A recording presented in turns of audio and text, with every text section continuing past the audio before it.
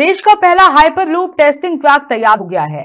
IIT Madras के परिसर में बना ट्रैक 410 मीटर लंबा है।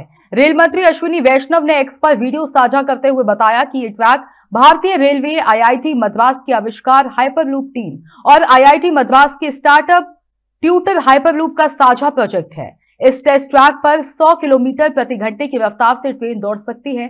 अब लंबे ट्रैक पर 600 किलोमीटर प्रति घंटे की रफ्तार पर हाइपर लूप का टेस्ट किया जाएगा। हाइपर लूप एक हाई स्पीड ट्रेन है, जो ट्यूब के भीतर वैक्यूम में चलती है। इससे पहले महाराष्ट्र सरकार ने Mumbai Pune hyperloop project को मंजूरी दी थी। दुनिया में सबसे पहले हाइपर लूप का विचार दो हज़ार बारह में एलॉन मस्क ने किया था।